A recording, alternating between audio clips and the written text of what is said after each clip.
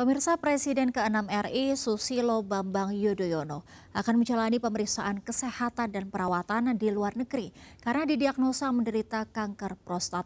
Rencananya SBY akan dirawat di Amerika Serikat dan sebelum berangkat, SBY berpamitan dengan Presiden Joko Widodo. Presiden ke-6 RI, Susilo Bambang Yudhoyono, berobat ke Amerika Serikat untuk mengobati penyakit kanker prostat yang dideritanya. SBY akan dirawat di sebuah rumah sakit di Minneapolis, Amerika Serikat. SBY berangkat ditemani anak dan keluarganya.